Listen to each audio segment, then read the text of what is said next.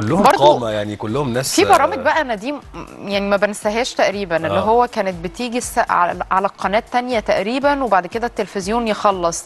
مثلا آه، آه، اللي هو برنامج نادي السينما. آه. بانوراما فرنسية. مم. آه، تاكسي السهرة. حديث المدينة زي ما انت قلت. في برنامج كنت بحبه جدا. خلف الأسوار. خلف الأسوار، يا ساتر يا رب. بين النور والظلام. والله كنت بحب أتفرج. والكاميرا في الملعب. لا أنا ما كنتش بتابع كورة. دي بص يعني إحنا لحد النهارده لسه مزيكتها معانا في دماغنا. تيت تيت تيت إيه ده؟ ده بجد هو ده؟ أنا كنت بحب المزيكا. كنت بحب المزيكا بس معرف عارف وش التلفزيون؟ ده كان ممتع. اللي هو التلفزيون بيخلص.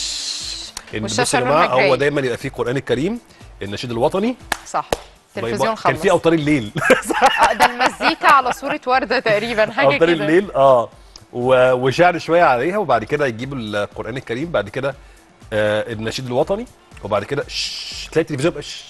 برضه ده كان ليه يعني خلاص إحنا هننام بقى. يعني. آه، حتى إحنا بنبقى سهرانين. كلام من ذهب طبعا. لو كان الجميل الإعلامي طارق علام طبعا. دلوقتي أصبح ذهب الزوجه الجميله الجميلة طبعا آه، فن- دينا رامز. أكيد. معانا زميلتنا بنوجه لهم. تحية. طبعا طبعا. وكمان دنيا الأطفال سينما الأطفال. طبعا. ده كان جدا برضو طبعا. برنامج من أهم البرامج اللي كانت والقديرة عزة مصطفى. بالظبط. صح كده؟ صح كده. بصوا يا جماعة مهما اتكلمنا عن يعني حياتنا وإحنا صغيرين وعن التلفزيون كلامنا مش هيخلص لأن التلفزيون هو اللي ربانا. التلفزيون هو اللي خلق جوانا حاجات آه، ممكن ما كناش يعني نكسبها أو نكتسبها يعني وقتها يعني آه، من اللي حوالينا. لأن صح. هو اللي خلق فينا إن يبقى عندنا قدوة في حياتنا من خلال الرموز ولا وكمان الناس التاريخية اللي إحنا شفناهم من خلال الشاشة. كفاية كمان المذيعين وقتها آه، يعني ما شاء الله كلهم نجوم. كلهم ناس تستحق إن هي تكون موجودة على الشاشة وتعلمنا منهم.